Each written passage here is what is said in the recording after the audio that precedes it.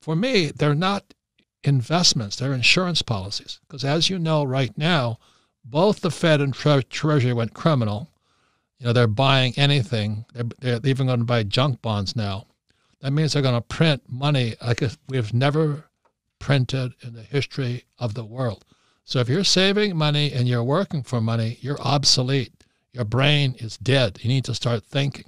And the average person has no idea what I just said. And it's insurance against the incompetence of the Fed and the Treasury. They're printing trillions of dollars. And if you're saving dollars, you might be in serious trouble because I just don't trust my government. I don't trust the Fed. I don't trust the Treasury and I don't trust Wall Street. The financial world is no stranger to alarm bells and warnings. But few voices resonate as powerfully as Robert Kiyosaki's when it comes to predictions of economic crashes and bubble bursting. Known for his unfiltered takes and contrarian views, Kiyosaki has been vocally cautioning about impending recessions and economic downturns. A narrative steeped in a mix of historical context, financial principles, and a pervasive sense of fear his perspective, far from being merely sensational, is rooted in a critical examination of current economic policies and market behaviors, presenting a grim outlook that urges individuals to rethink their financial strategies. Kiyosaki's narrative is built on the premise that the global economy is teetering on the edge of a monumental collapse, driven by unsustainable financial practices and systemic flaws.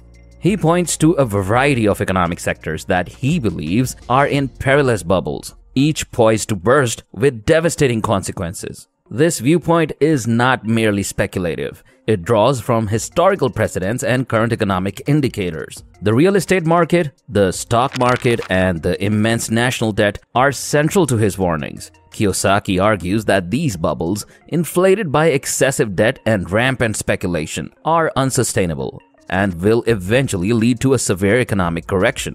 One of Kiyosaki's key points is the precarious state of the real estate market. He draws parallels to the 2008 financial crisis, where the collapse of a housing market triggered a global recession. Today, he sees similar signs inflated property values, lax lending standards, and an over reliance on debt. He argues that the artificially low interest rates set by the Federal Reserve have fueled a housing bubble that is bound to burst. When it does, it will not only decimate the wealth tied up in real estate but also trigger a cascade of defaults and financial instability across the economy. The impact on Americans could be catastrophic, leading to widespread foreclosures, a drop in home values, and a significant reduction in consumer wealth. In addition to real estate, Kiyosaki is highly critical of the stock market, which he views as being propped up by artificial means rather than genuine economic growth.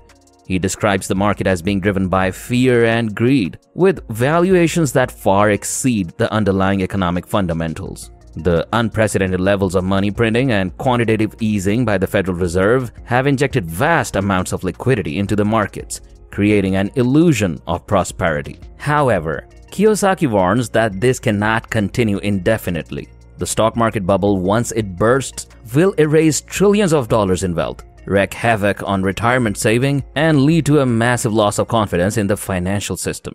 Kiyosaki also highlights the national debt as a ticking time bomb. The US government's reliance on borrowing to finance its operations has resulted in a national debt that exceeds $30 trillion. This level of debt, he argues, is unsustainable and will eventually lead to a fiscal crisis. The interest payments on this debt alone are becoming a significant burden, consuming resources that could be used for essential services and investments. As the government continues to borrow more to cover deficits, the risk of a debt spiral increases. When confidence in government's ability to manage its finances erodes, it could lead to a collapse in the value of the US dollar, hyperinflation, and a severe economic contraction. Amidst these dire predictions, Kiyosaki advocates for what he considers safe havens in form of gold and silver. He sees these precious metals not just as stores of wealth, but as critical assets for preserving wealth in times of economic turmoil. His stance is that gold and silver have intrinsic value and have historically served as reliable hedges against inflation and currency devaluation. Unlike fiat currencies, which can be printed at will by central banks, gold and silver are finite sources, making them resistant to inflationary pressures. Gold, silver, and Bitcoin. I don't call them investments, I call them insurance plans right now. And it's insurance against the incompetence of the Fed and the Treasury. They're printing trillions of dollars. And if you're saving dollars, you might be in serious trouble.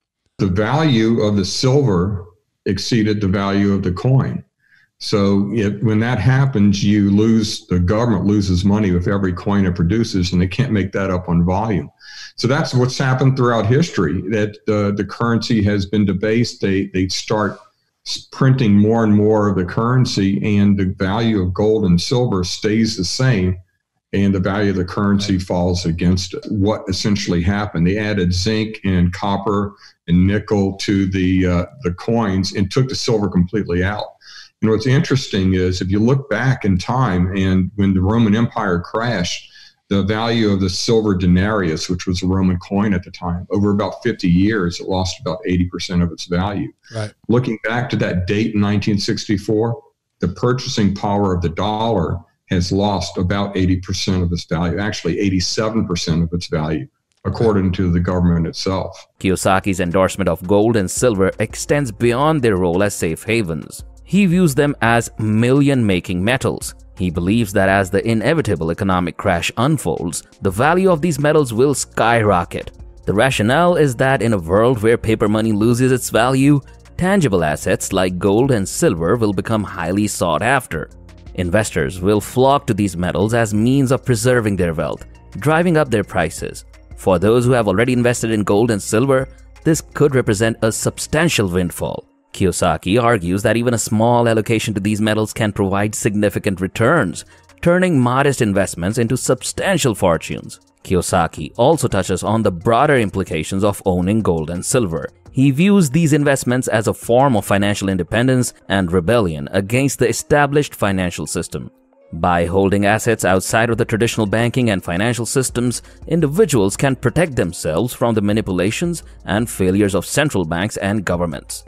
This sentiment is particularly relevant in an era where trust in financial institutions is waning and the efficacy of monetary policies is increasingly being questioned. Brian London, a guest on Kiyosaki's show, reinforces these points by highlighting the historical resilience of gold and silver. He explains that these metals have been reliable stores of value for thousands of years, providing protection against the debasement of currencies. London emphasizes that as the governments print more money to address economic crisis, the value of fiat currencies declines, making gold and silver even more valuable by comparison. This historical context underscores the enduring appeal of precious metals in safeguarding wealth. The discussion also delves into the technical aspects of investing in gold and silver, Kiyosaki and London advise against speculative investments in collectibles and rare coins, which require specialized knowledge and carry significant risks. Instead, they recommend focusing on widely recognized bullion coins such as American Gold Eagles and junk silver coins, which are more liquid and easier to trade. This practical advice is aimed at helping investors navigate the complexities of the precious metal market and avoid common pitfalls. Kiyosaki's discussion with Anthony Pompliano introduces another dimension to the conversation the role of Bitcoin and cryptocurrencies as alternative investments. Pompliano, a well known advocate for Bitcoin, echoes many of Kiyosaki's sentiments about financial independence and the need for assets outside of traditional systems. Bitcoin is the most popular cryptocurrency. And, and the reason why that's important is um, it's all about confidence, right? Money is a belief system. And, and, the more people that buy into the belief system, the stronger that the value of it And, and obviously, uh, there are now 2,000, 3,000 other cryptocurrencies. And I always kind of make a point to ensure people understand that Bitcoin, in my opinion, is the most important one. Uh, it's the most popular and, and, has kind of all of the things that you want in um, sound money or sound currency. The other piece of this is um, a lot of people ask me, like, how do I think about Bitcoin um, in terms of my wealth, right, and, and my financial portfolio? And I think people are surprised when I say, I look at converting US dollars to Bitcoin as literally protecting my wealth. And I think a lot of people in gold and silver think the same way, right? Is I'm rather than hold this asset that literally is going to be devalued, I want to convert it to something that has uh, protection based on the structure of the asset, right? And I think gold, silver, Bitcoin, etc., all have that. He argues that Bitcoin, with its decentralized nature and fixed supply, offers similar protections to gold and silver. Pompliano explains that Bitcoin's resilience against government interference and its programmability make it an attractive option for those looking to hedge against economic uncertainty. The inclusion of Bitcoin in the discussion highlights a modern twist on Kiyosaki's traditional emphasis on gold and silver. While precious metals have a long history as safe havens, Bitcoin represents a new frontier in financial independence. The decentralized and transparent nature of Bitcoin, combined with its potential for significant appreciation, makes it an appealing option for younger, tech savvy investors. However, Kiyosaki and Pompliano also caution about the volatility of cryptocurrencies, which can pose significant risks. Kiyosaki's endorsement of gold, silver, and Bitcoin is ultimately rooted in a profound distrust of the current financial system. He views these assets as insurance policies against economic mismanagement and systemic failures. This perspective is not merely about preserving wealth, but also about challenging the status quo and taking control of one's financial destiny. The underlying message is clear. In a world of economic uncertainty and potential collapse, individuals need to be proactive in protecting their wealth and securing their financial future. Robert Kiyosaki's views provide an intense state of the global economy and the steps individuals can take to safeguard their wealth. His warnings about economic bubbles, the risks of excessive debt, and the potential for a severe downturn are grounded in a deep understanding of financial history and market dynamics. By advocating for investments in gold, silver, and Bitcoin, Kiyosaki offers a strategic approach to navigating these turbulent times. His emphasis on financial independence and self reliance resonates strongly in an era where traditional financial systems are increasingly questioned.